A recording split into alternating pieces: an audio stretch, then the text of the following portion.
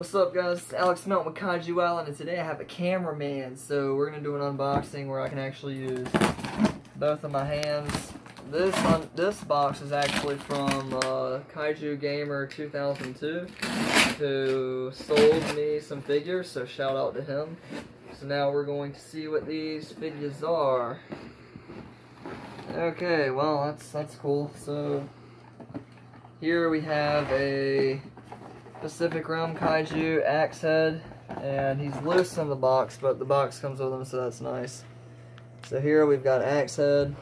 It is pretty nice from Pacific Rim. This is the concept version, so that's pretty nice. So we got Axehead, and let's go ahead and check out the other ones. We've got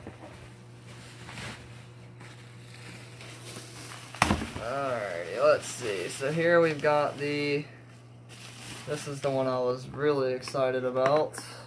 Ghidorah. If I can get its wings correct. Yep.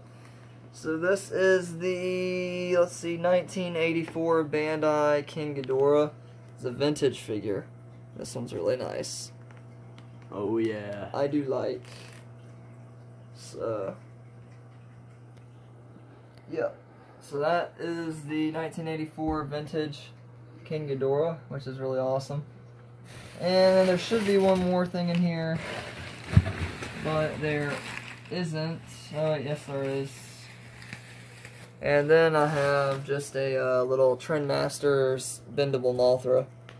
But it's not much, it's just, it's a little Trendmasters toy from 1994. He's unique though. So, there you go. But this is the figure I was most excited about, the 1984 vintage King Ghidorah.